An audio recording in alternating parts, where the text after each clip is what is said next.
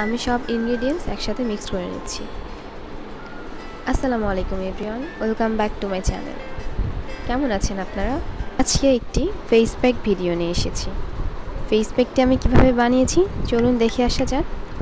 আমার এই ফেস প্যাকটি সপ্তাহে দুই থেকে তিন দিন ইউজ করলে আপনার ফেস গ্লো দিবে সানটেন রিমুভ হবে মেস্তার প্রবলেম থাকলে মেস্তার প্রবলেম আস্তে আস্তে দূর হবে।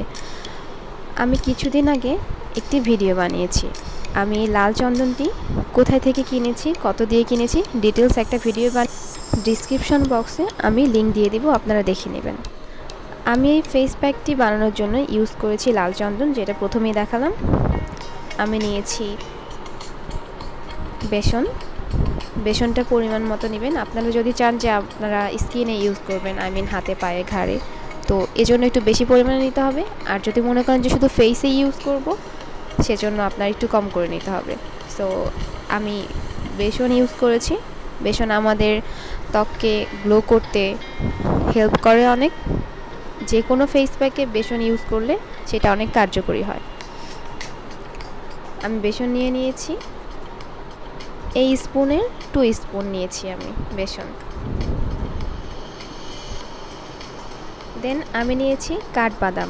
কাঠবাদাম আমি পেস্ট করে নিয়েছি। আমি তিনটে কাঠবাদাম নিয়েছিলাম। কাঠবাদাম আমাদের ত্বককে গ্লো করতে হেল্প করে। আমাদের ত্বকের জন্য অনেক বেশি ইম্পর্টেন্ট কাঠবাদাম। আর আমি নিয়েছি টক দই। টক দইটি বাসায় বানানো।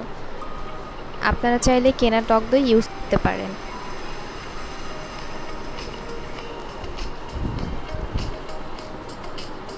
দেন আমি নিয়েছি গোলাপ জল। আমি গোলাপ জল নিব। টু টেবিল স্পুন আমি লাল চন্দন গুঁড়ো নিয়ে নিচ্ছি এক টেবিল চামচ। লাল চন্দন গুঁড়া বেশি নেওয়া ঠিক না, বেশি নিলে হিতের বিপরীত হয়ে যেতে পারে সো আমি অল্প করেই ইউজ করছি। আমি সব ইনগ্রিডিয়েন্টসগুলো একসাথে মিক্সড করব। আগে আমি গোলাপ জল নিব, তারপর। আমি গোলাপ জল নিব টু টেবিল স্পুন নিয়ে ইনগ্রিডিয়েন্টসগুলো ভালোভাবে মিক্সড করব। আগে পানি দিয়ে দিব না, আগে সবগুলো মিক্সড করব। মিক্স করার পর পানি দিব। আর মিক্সড করলে কেমন হয়, সেটা আপনারা ভিডিওতেই দেখতে পাবেন।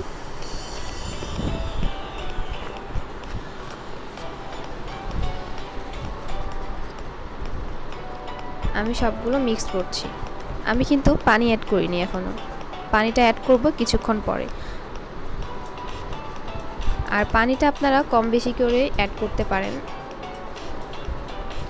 অনেকেই বেশি থিক চায় আবার অনেকে কম থিক চায় আপনার থিক চাওয়ার উপর ডিপেন্ড করবে পানিটা কম বেশি করে অ্যাড করা।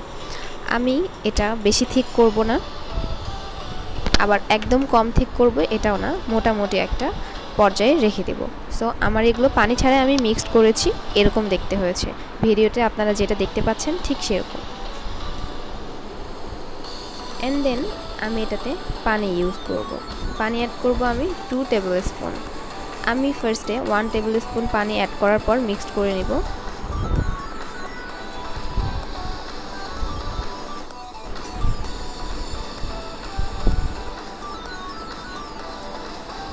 আমার মিক্স করা হয়ে গেছে। আমার মনে হয়েছে যে এটা অনেক বেশি ঠিক হয়ে গেছে। সো আমি আরেকটু পানি অ্যাড করেছি। অ্যাড করে মিশ্রণটি ভালোভাবে গুলিয়ে নিচ্ছি।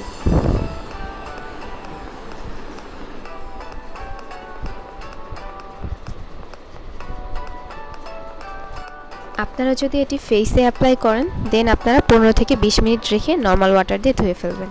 আর যদি এটা হাতে পায়ে ইউজ করে থাকেন তাহলে এটা আধা ঘণ্টা রাখবেন। রেখে নর্মাল ওয়াটার দিয়ে ধুয়ে ফেলবেন। আর কেমন লাগল আমার ভিডিওটি কমেন্ট বক্সে জানাবেন। আর সাবস্ক্রাইব করতে ভুলবেন না। Thank you